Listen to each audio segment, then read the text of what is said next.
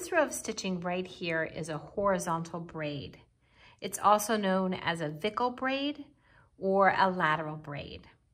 And essentially what you're doing is you're bringing your knitting stitches, those little V's, horizontal to your work and bringing them right around. And I'm gonna show you how to do that. To do this, you will need, if you're knitting in the round, you will need a tapestry needle and perhaps a pair of scissors depending on the type of yarn you're working with. So to get started, we need to add a stitch so that we can create the set of braiding that happens right underneath these this row. So I am going to make a stitch and the easiest way to do this is to go in between the first and the second stitch and go ahead and bring a stitch right up and then put that onto your needle.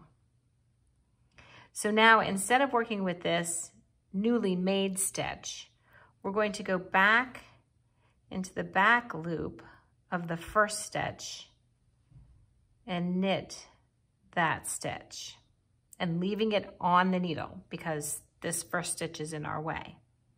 So we're going to come back to the front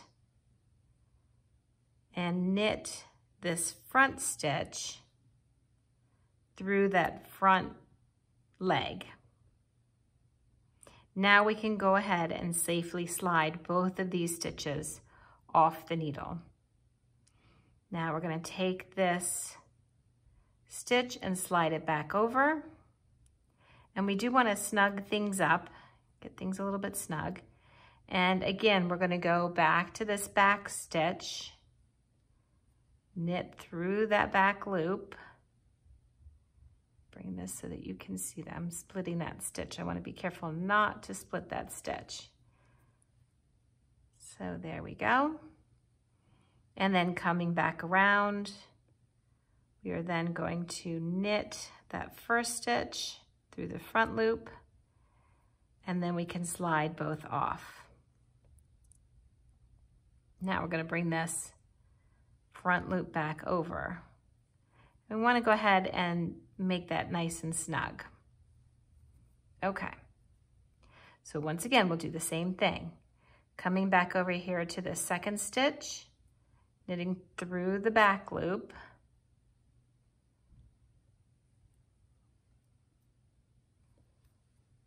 It's a little tricky with the camera.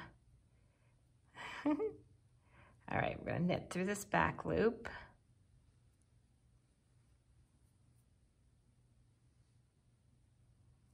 There we go. Knit through the back loop, coming around, and we'll knit through the front loop. Sliding both of those stitches off and bringing that first stitch back over to our work. Now, what you can start to see is that horizontal braid forming. Let's go ahead and continue a little further, going through that back loop.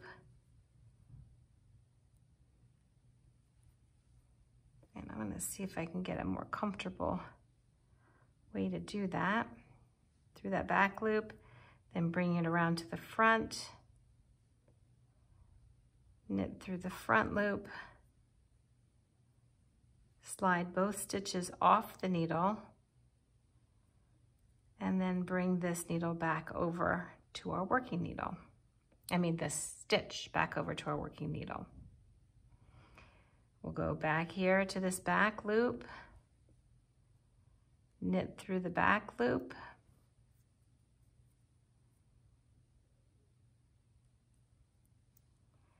knit through the front loop,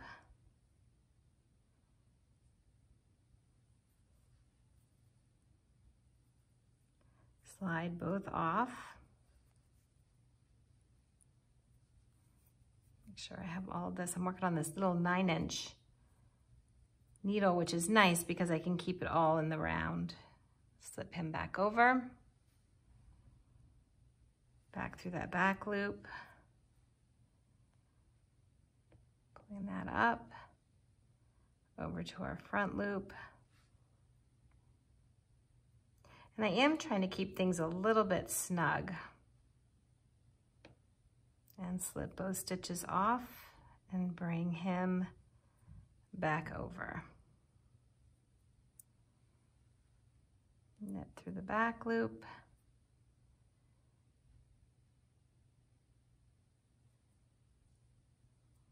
Coming around, knitting through the front loop. Taking them both off and bringing him back. Okay, and let's take a moment and look at what we have. This particular yarn splits very easily, but you can see that this, these horizontal stitches are starting to create that braid. So I'm gonna keep on going. Working through the back loop. Knitting, bringing it through the front loop, sliding both stitches off, and bringing this one back over. Okay, so I'm gonna continue to go ahead and knit all the way around my sock here. And then I want to show you how we can decrease that stitch that we added and keep the braid going uh, so that it has a seamless connection from this side to this side. Okay, so I am right here at the last stitch and you can see that I have the braid going all the way around. So the last stitch has been slipped over and I am going to knit through that back loop.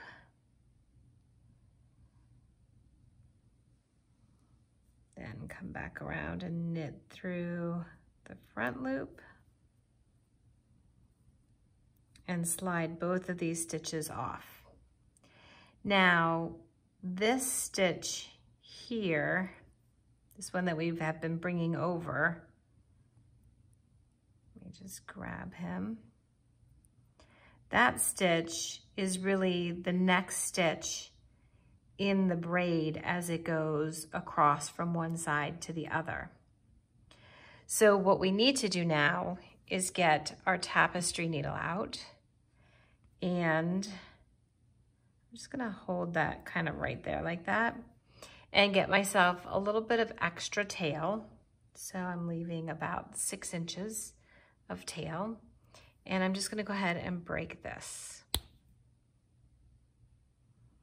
Now, I will probably spit slice this end back to the tail to continue uh, knitting the rest of the stock, the sock. But in the meantime, we wanna make this look pretty. We're gonna let this guy come off of the knitting needle and then come up through the stitch. And that's a good thing because that will hold it on there. And I'm gonna just let my tail hmm, be a little bit shorter there. Now I'm coming over here and this first stitch was sort of how we created, we made that stitch there and this is really the first part of our braid. So I'm going to come up through both sides, the V's of that stitch. See how, see how this V comes out from this V and this V comes from this V? We want this stitch to do the same thing. So we're gonna come up between those two and give that a pull. And you wanna be careful not to pull too hard because you do want things to look the same. Sorry, I'm twisting it on you. I should probably just keep it that way. Now we're gonna go back down through that loop. Does that make sense? There's that last loop that we just did. We came up, we came through this one. I'm gonna come back down into that one. And what that is going to do is allow us to complete that braid very nicely so that we have a nice finished braid. Let me get my needles up here. Take that off. And then we can kind of admire the work of that nice braid that goes all the way around that sock. It's pretty cool, right? So now my, my working piece is there and I'm gonna keep my stitch marker in place. Oops, goes over here.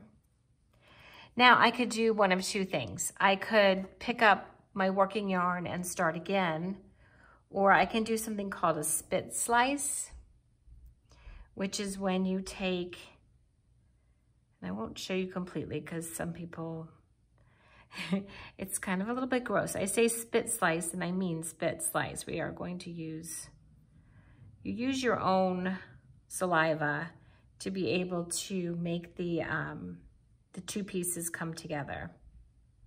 So I'm just gonna untwist that a little bit. This will be where my connection is. So I'm gonna go ahead and break that. And now I have half of the work, that half of the amount of wool there. And then on my other end, I'm going to unravel these two. I think I have, we'll do it kind of in half here. And just unravel that about, I wanna do that about the same length as this other one was, a little bit further. And then we'll break that the same way.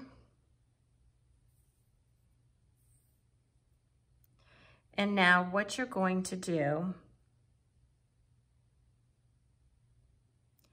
is drop just a little bit of saliva in your hand. I know you need to be near a sink. And then you're gonna take your two hands and just rub them together. Probably with a little bit of sweat, this will start to bring these pieces together.